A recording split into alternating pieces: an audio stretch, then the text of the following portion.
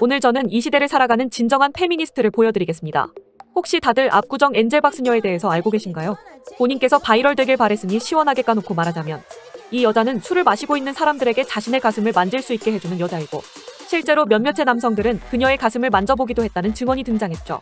인스타 10만 팔로워를 달성하면 구멍 하나를 더 뚫겠다는 발언을 보면 그녀의 목적은 어그로라는 걸 알 수가 있지만 그녀는 자신에게 가장 자신 있는 부분은 바로 가슴이고 자랑하고 싶은 가슴을 숨기고 싶지 않으며 모든 남자가 만져줬으면 좋겠다. 가슴이라고 특별히 터부시하고 싶지 않다라는 발언을 했습니다. 그리고 저는 이 여자를 페미가 나아가야 할 방향이라 정의하는 이유가 있죠.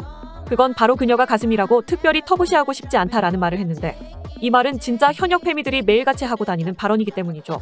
실제로 불꽃 페미 액션이라는 단체에서 활동하는 여자들은 여성의 몸이 숭배의 대상이 되는 건 이 사회가 요구하는 정확한 규격과 취향에 맞췄을 때뿐이다. 옷이로 꼭지 자국이 보이면 방탕하고 부주의한 여성이라는 낙인 찍는 게 싫다. 내 몸은 음란물이 아니고 여자는 노브라로 다닐 권리가 있다.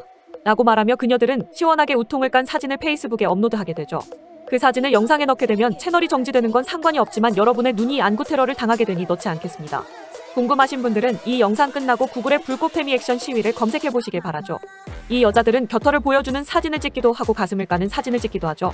새 시대의 인권운동은 이렇게 재밌어야 한다고 말이죠. 어째선지 몰라도 엔젤 박스녀의 발언과 비슷하다고 느껴지지 않습니까? 극과 극은 통한다더니 기묘하게도 정반대의 삶을 살아가는 두 여자의 인터뷰 사이에는 묘한 동질감이 보이고 있죠. 하지만 여성시대에서는 엔젤 박스녀에게 호주가 데리고 다니면서 그러나 보내 성매매 착취 피해 여성인가 봐. 라는 식으로 스스로 직접 팔로워를 늘리고 싶어서 노출하는 여성을 책녀 취급하고 있으며 만지라고 만지는 한남들이 더 역겹다. 공연음란죄로 신고하고 싶다라는 말을 하고 있죠. 이 여자들은 화사 씨가 노브라 공항 패션으로 공연음란죄로 신고당했을 때 여자 가슴만 쳐보고 있냐 여자가 벗든 말든 뭔 상관이야. 이거지 시옷비읍 여자의 가슴은 뭐 특별한 거라도 되는 거냐. 라고 말하며 여자는 여자의 의지로 가슴을 노출해도 된다고 주장하죠. 하지만 예쁜 여자가 가슴 까고 다니는 건 여성인권의 후퇴라고 개지랄 발광을 하는 건 왜 그런 걸까요?